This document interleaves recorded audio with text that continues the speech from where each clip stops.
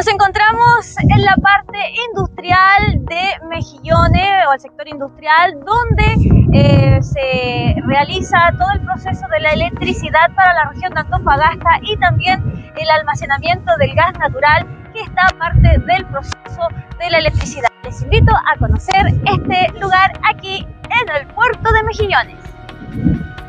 La empresa eléctrica Angamos es filial de AES Gener y opera una central térmica ubicada en la comuna de Mejillones, región de Antofagasta, que incluye energía al sistema interconectado del Norte Grande. Cuenta con dos unidades a carbón pulverizado con una capacidad instalada de 545 megawatts brutos,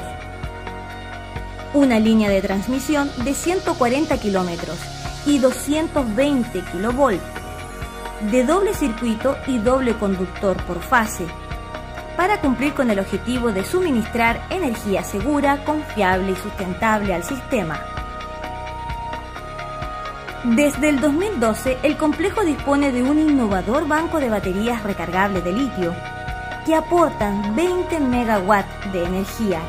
convirtiendo a la planta de Angamos en la primera central híbrida del mundo.